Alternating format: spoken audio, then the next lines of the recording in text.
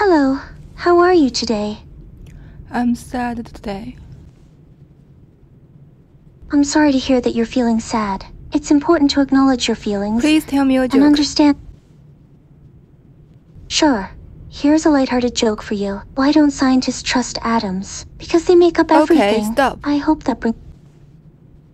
Boss, I'm here to support you in whatever way you need. If you'd like to talk about something else or need assistance with something specific, feel free to let me know. Take care. Building a conversational AI is now easier than ever. What is the working logic of conversational AI? The user speaks, which is processed through speech to text. The large language model generates a response, which is handled by an agent and then converted back into voice using text to speech.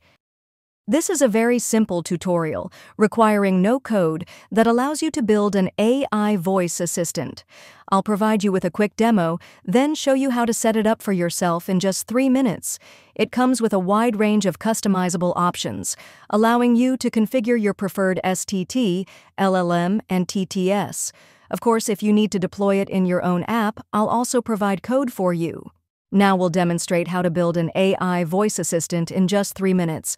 Go to console.trtc.io, click Create Application, enter a custom name for your application, select the application type RTC Engine, and click Create. Return to the console homepage, click Development Tools, then Conversational AI. This is the Conversational AI playground. Click Get Started. On the basic configuration page, first select the RTC engine application you created. Fill in the bot welcome message. Select the interruption mode. This mode supports both intelligent interruption and manual interruption. Select the interruption duration. Click Next after the configuration is complete. Speech to text recognition configuration model can be selected from Tencent, Azure, DeepGram, and supports multiple languages. For example, I choose DeepGram and enter the API key. VAD duration can be adjusted. A smaller value will make speech recognition sentence segmentation faster. After the configuration is completed, click Next. As for large language model configuration, you can choose from a variety of LLM providers, including OpenAI, DeepSeek, Minimax, Coze, Dify, and more. It's worth noting that when OpenAI is selected as the provider, we can support any model that provides OpenAI compatible API endpoints, including Claude and Google Gemini. Here you can modify the prompt. I choose the Minimax model, enter the API key, and click Next. On the TTS speech synthesis configuration page, TTS providers supported include Minimax, Azure, Cartesia, Eleven Labs, and Custom. For example, I choose Cartesia, select the voice ID I want, enter the API key, and click Connect. Now you can interact with AI in real time.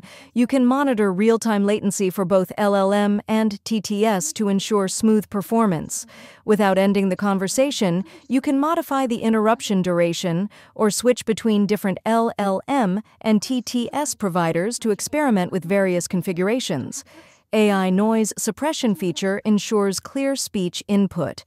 The above is the process of implementing voice conversations with AI without coding.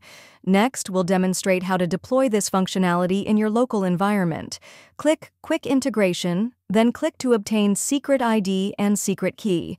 Copy the Node.js code and paste it into a newly created empty app.js file, entering the secret ID and secret key you just obtained. Run node app.js in the terminal. Next, copy the front end code and paste it into a newly created HTML file. Open this HTML file and click Start Conversation. Now you can have a conversation with Hello. AI How are you locally. today? I'm happy. That's wonderful to hear. Is there something specific that's making you happy? Or are you just in a great mood today? Okay, Either way. I'm glad. The links mentioned in the video are in the description. Now, start creating your own AI voice assistant without coding.